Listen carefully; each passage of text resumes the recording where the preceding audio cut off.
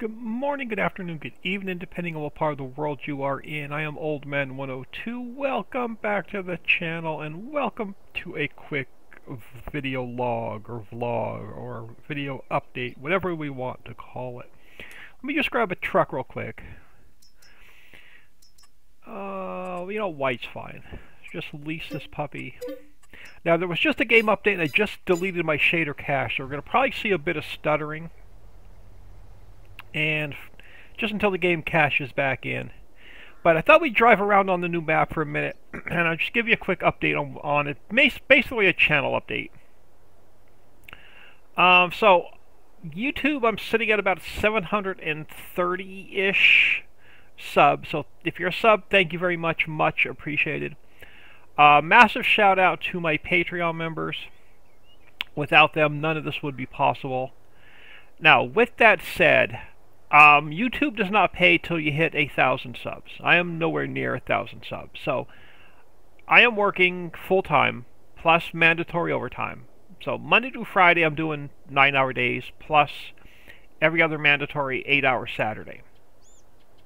Struggling to keep up with working on maps and mods for Farm Sim and keeping this YouTube channel running.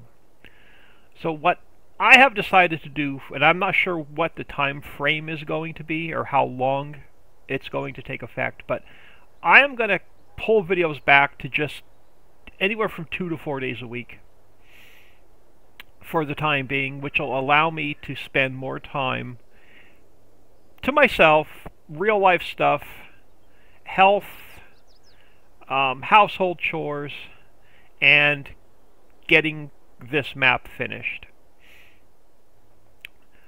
So basically I spend, you know, an hour recording and then another hour editing and rendering.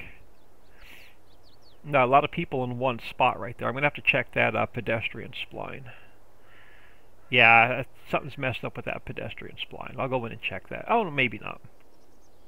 But anyway, uh, so an hour to record, an hour to edit and render, and then another two hours to upload. So basically, I'm, my computer's tied up for two hours just for recording, editing, rendering, you know, one video. I don't have the greatest computer, so while that video is rendering, which takes an hour, 45 minutes to an hour, I can't do anything on the computer. So I'm basically tied up for two hours a day when I get home from work, um, not being able to work on in the editor because I can't work in the editor while the videos are rendering. It's just super, super slow and more jittery than what you're seeing here on the map cache and back in.